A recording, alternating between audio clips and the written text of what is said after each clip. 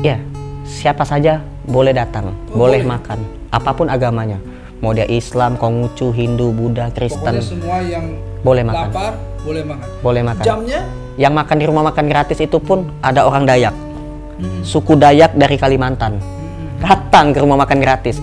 Bawa anak yatimnya banyak. Begitu sudah datang, tidak pulang-pulang. Saya bingung nih orang datang dari suku Dayak pakai bahasa Dayak. Saya tidak ngerti ngomong apa dia nih. Nah itu, tidak pulang-pulang. Ya. Ada satu yang ustadznya itu ngomong, Pak Adit, sebenarnya kami ini dari suku Dayak Kalimantan. Ya terus, ya kami tidak bisa pulang. Hmm. Lah kenapa nggak bisa pulang? Ya kami di Kalimantan jauh, kami tidak punya uang katanya. Jadi dia tuh awalnya ikut acara Hafiz RCTI audisi, Hmm. kalah.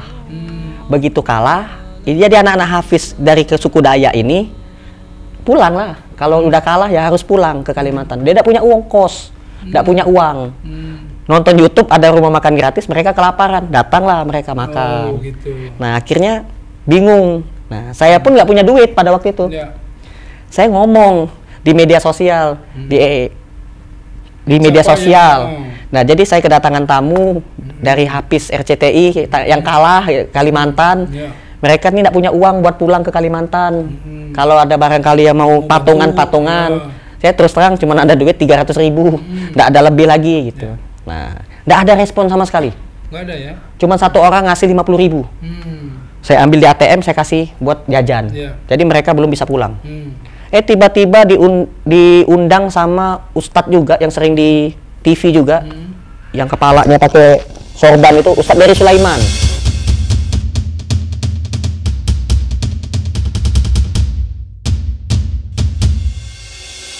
Nelpon saya, Ustadz dari Sulaiman, ngundang mereka, tolong dibawa dit ke hotel bintang 5 di Bogor. Hmm.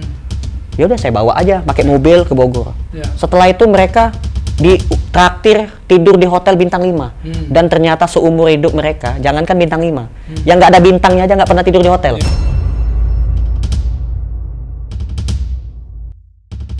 Di- mereka cerita sama saya Pak Adit ini hotel mewah sekali Hmm. Hmm. yang bayar bukan saya Hmm. Ustadz Oh. Ustadz dari Sulaiman yang bayar bukan saya. Nah, lompat-lompat di kasur saya lihat orang daya datang ke, ke hotel bintang 5 berenang saya, gratis nah Terus pulang boleh. pulang dari hotel Hmm. saya ajak makan di restoran Padang Hmm. makan di restoran Padang nggak ada yang berani ngambil lauk Hmm. satu pun nggak cuma nasi putih aja makan sama ada udah Ustadz ngambil sam- nasi sama sambal dah Ya. makan saya bilang ini restoran gratis Hmm. ambil lah ayam mau tiga daging rendang ambil banyak-banyak jangan makan nasi putih kayak saya nih saya, saya duluan ngambil ngambil ikan gitu kan akhirnya ber Habis. teka bom bom bom, bom. jadi warna kuning itu nggak ada putih bersih habis bersih Ya, ya. nah gitu dia nggak tahu kalau restoran ini gratis saya bilang makan bersih nah, Terus? udah pas habis mau bayar pas mau bayar Ya. dapat telepon saya nggak tahu nggak kenal demi Allah dia tuh baru nonton Instagram saya live kemarin Ya. nelpon katanya Pak Adit saya dari perusahaan bandara namanya sebentar ya. ah Hmm. jadi dia itu orang penerbangan Penerbangan. orang penerbangan mau bantu semua orang dari suku Dayak Kalimantan ini ongkos pulang Gratis. plus uang perjalanan. Oleh-oleh. Uang oleh-oleh. uang perjalanan. Dikirimin lah berapa puluh juta untuk mereka. Total semuanya itu ada berapa orang? 16 orang. Hmm, jadi semua orang ini di ongkosnya gratis, Gratis. naik pesawat. Iya. keren yang bagus. Iya. nah, dapat dapat makan dapat uang oleh-oleh. Hmm. nah saya ngomong juga bu saya mau neraktir juga makan lah mereka ini belum ya udah saya saya semua yang bayarin makan dan lain-lainnya. Nggak makan hari ini juga dibayarin juga? Dibayarin juga. Alhamdulillah.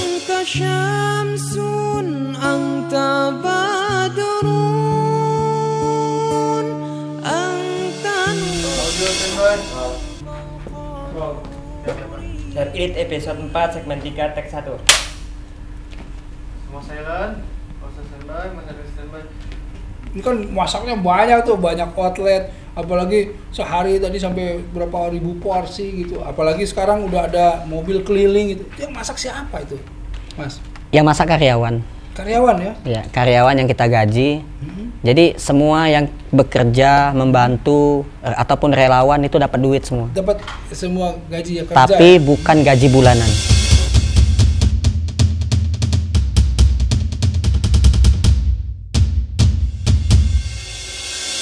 Saya dari zaman dulu tuh nggak mau, nggak setuju saya ada gaji bulanan itu saya nggak Gimana- setuju. Ngapain pakai gaji bulanan? Nah, jadinya Maknanya nggak ada, artinya nggak ada, bulanan. bulanan. Kebutuhan bulan nggak ada kebutuhan bulanan. Orang bu- butuh sehari-hari gitu ya. Iya, jadi gajinya tuh Jumatan, Wah, Setiap Jumat. Setiap Jumat. Jumat berkah. Nah, Jumat berkah. Ah, ah. jadi setiap hari Jumat saya menyiapkan amplop Ya. sebanyak 40. 40 amplop untuk semua karyawan yang membantu. Jadi karyawan di rumah makan gratis ada 40. Ada 40. 40 Dari orang. Mulai masak, mulai bagi-bagiin. Bagi-bagiin semua semua, total semuanya. Termasuk yang ga- gaji guru ngaji. Jadi di rumah makan ya? gratis Nah, itu ini ada yang lain nih. Iya. Ceritakan nih. termasuk juga nih ada guru ngaji yang kita gaji, ada guru bahasa Inggris, guru bahasa Arab, guru ngaji, terus tukang, ada Ini- tukang ini juga. Untuk siapa? Kan makan datang langsung pulang. Guru ngajinya untuk siapa? Ya, guru ngajinya dapat duit, dapat gaji setiap Jumat. Mhm. Guru bahasa Inggris, Inggris. guru bahasa Arab, sama tukang. Tukang. Tukang sama tukang masak, sama tukang kuli bangunan. Kuli bangunan. Kuli bangunan kita gaji. Kuli bangunan kita gaji untuk pembangunan masjid. Oh, jadi selain nah ini ada sesuatu lagi nih. selain rumah makan gratis, ada lagi apa tuh? Ada masjid, rumah tafiz, Rumah tahfiz Quran. rumah tafiz Quran. Rumah tahfiz Quran itu kita menampung anak yatim yang orang tuanya meninggal. Hmm. Gara-gara saya pernah ketemu sama anak yatim. Ya. Jadi anak yatim ini mau dijemput oleh ibu bapaknya sama adiknya. Jadi naik motor boncengan ya, di ya. Tangerang. Begitu pas turunan, Hmm. gitu, ada mobil truk remnya blong, nabrak orang tuanya, Ya. sampai masuk ke dalam kolong mobil, kelindes Innalillahi. kepalanya. Hmm. Yang di motor meninggal semua. Bapaknya, ibunya, adiknya meninggal semua. Hmm. Yang selamat cuma satu orang, anak kecil, masih SD kecil banget, namanya Fauzi Hmm. si Fauzi ini stres, pusing, kepalanya sedih, Ya. kehilangan orang tua, Ya. orang tuanya ninggalin utang lagi. Nah, akhirnya tetangga-tetangga nggak ada yang bisa ngasih solusi. Ya. Saya datengin, ketemu sama saya, Ya. ketemu sama saya, saya bilang kamu jangan sedih. Hmm. Ya, kamu tuh adalah titipan Hmm. yang menjadi tanggung jawab kami seluruh rakyat Indonesia, bahkan seluruh dunia. Hmm. Se- se- tanggung jawabnya seorang Muslim yang merawat kamu. Kamu ikut saya, tinggal sama saya. Hmm. Nanti di sana kamu belajar Al-Quran, ngaji, doain orang tuamu, biar nanti bisa ketemu di surga. Hmm. Jadilah anak yang soleh. Sampai sekarang Fauzi ikut saya jadi penghafal Quran. Oh. Jadi penghafal Quran, akhirnya saya bangunlah rumah tahfiz Quran. Hmm. Berawal dari gara-gara ketemu anak yatim. Fauzi ini ya. Ya, sama Satria juga. Satria itu Satria anak yatim piatu ketemu di halte busway. halte. Dia bagaimana ceritanya? Jadi di halte busway udah tiga busway, saya lagi beli gorengan, Hmm. istri saya minta beliin gorengan, saya beli gorengan, saya ngelihat di halte busway ada anak kecil. Hmm. Sudah tiga kali busway lewat, kok dia nggak nggak naik-naik busway. Hmm. Saya samperin, Hmm. saya bawa gorengan, saya samperin. Kamu nungguin siapa dek? Gitu. Nggak nungguin siapa-siapa katanya. Orang tuamu mana? Udah meninggal dua-duanya. Hmm. Kamu tinggal di mana? Di sini. Di halte busway tidurnya. Iya. Udah makan belum? Belum. Wah, saya lihat pucat memang. Nah, saya kasih. Saya beli goreng lima ribu. Habis buat istri saya. dia dimakan semua sama dia lapar. lapar Waduh, saya bilang. kasihan dia. Nah, udah akhirnya saya bilang, "Mau nggak ikut saya? Hmm. Tinggal di rumah saya." Hmm. Nggak mau dia. Kamu belajar Al-Qur'an aja. Saya udah pernah belajar Quran katanya. Hmm. Pernah mondok, kata dia. Oh, pernah mondok ya. Punya hafalan Quran? Punya. Saya tes. Hmm. Bacanya bagus, hafalannya kuat Wah. saya tes jus 30 dah saya bilang. Ya, ya, ya. Tapi saya bacanya cepet. Kalau dia memang bisa jawab jawaban saya, Ya. berarti dia memang cerdas. Ya. Saya bilang. Ya bacanya lambat enggak, saya cepetin, saya cepetin. Begitu saya cepetin, bisa dia jawab. Hmm. Innalladzina fatanul mu'minina wal mu'minati lam yatubu falahum azabu jahannam walahum azabul hari. Al- uh, juz 30 saya Ya. bilang, pertengahan ayat. Dijawab sama dia. Innalladzina amanu wa amilu solihati lahum jannatun tajri min tahtihal anhar. Pinter kamu saya bilang kan jadi anak saya dah. Sambung ya, saya, saya pinter kamu saya bilang. Nah, saya bawa. Nah, tinggallah di rumah tahfiz Quran. Nah, akhirnya ngumpul-ngumpulin anak yatim banyak. Saya bangunlah rumah tahfiz Quran. Hmm. Nah, rumah tahfiz Quran Alhamdulillah semenjak bangun rumah tahfiz Quran dengan perjuangan yang luar biasa sampai saya ngirit-ngirit nggak pernah ngajak istri saya ke mall Hmm. ngumpul-ngumpulin duit. Target saya ya selesai rumah tahfiz Quran ya bismillah lah. Eh ternyata lanjut. Ya. Bangun masjid. Masjid. Sekarang bangun masjid. Nah, bangun masjid.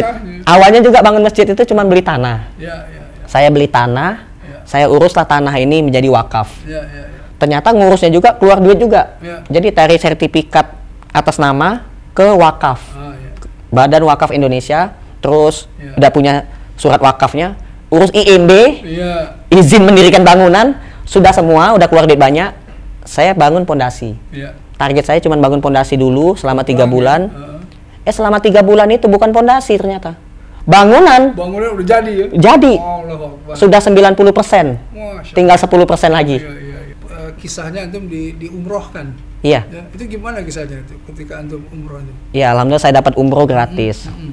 dan insya Allah ini mau berangkat lagi Nah, Oktober tahun ini. orang-orang banyak yang pengen umroh ini tapi nggak punya uang. Gimana tuh tipsnya gitu loh? Iya, alhamdulillah. Saya tuh pernah ngurusin nenek-nenek Hmm. lagi sakit, pundak saya dipegang. Hmm. Nah, nenek doain apa yang belum kamu miliki di dunia ini nanti kamu miliki. Hmm. Apa yang belum kamu dapetin di dunia ini nanti kamu dapetin. Yang belum pernah kamu ke sana nanti kamu ke sana. Yang pernah pernah ketemu sama kamu nanti kamu ketemu. Mau dia ustadz terkenal, artis terkenal, sampai pejabat terkenal, nanti kamu ketemu. Nenek doain. Nggak lama kemudian nenek itu meninggal. Ya. Tiga-tiganya betul-betul tekabul. Saya merasakan betul demi Allah. Saya tidak pernah umroh, tidak pernah saya datang ke Mekah. Hmm. Saya dapat umroh gratis. Saya pikir yang umrohin saya orang kaya. Hmm. Ternyata pembantu rumah tangga.